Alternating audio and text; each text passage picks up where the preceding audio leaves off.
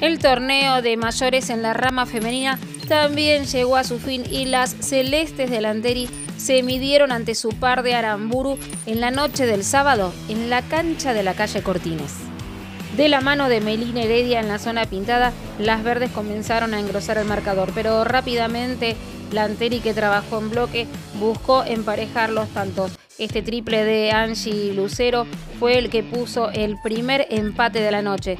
En la continuidad, Nain Jiménez fue la encargada de cerrar el primer cuarto con una buena ventaja para Lanteri. En la segunda manga fue notoria la recuperación de la visita. Y sí, Sofía Ferrá, que fue la mentora de la chica, fue encontrando los espacios para ir descontando en el marcador el triple de Agustina Sancho que imponía su sello y Melina Heredia que buscaba para convertir un doble más. Lanteri respondió de la mano de Julieta Álvarez con otro triple y seguía arriba, pero por muy poco.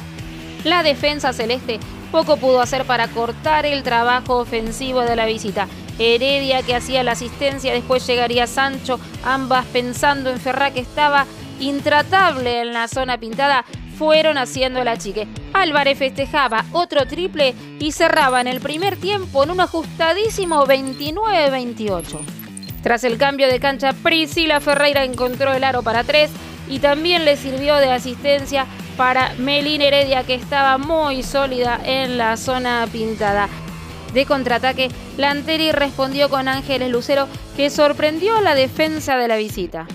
Las dirigidas por Enzo Borghetti ganaron espacio en el frente para no dejar escapar a las celestes que cerraron el tercer cuarto en 45-39. Dos jugadas calcadas para Milva Pinelli que también dijo presente y seguía estirando la ventaja. Otra que también rompió el ritmo de juego fue Ruth Vega sorprendiendo y filtrando a la defensa de las verdes. Jessica Bustos, que también ponía el partido a un par de dobles recuperando los rebotes.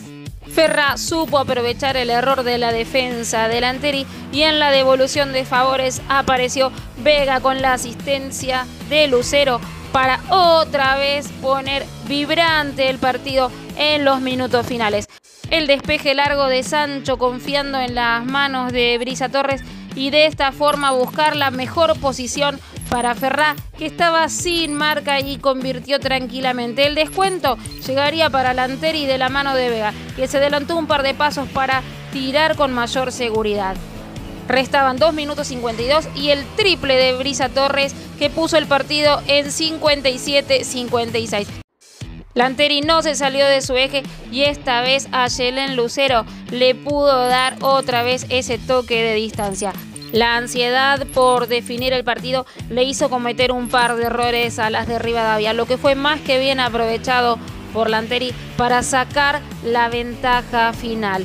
Se llevó este partido en 65-59 y con este resultado se convirtieron en las campeonas del torneo Apertura 2022 de la rama femenina. Un torneo que cerró de la mejor manera, lo que mostró a cancha llena el mejor nivel del básquet femenino que también se va incrementando en el número de jugadoras.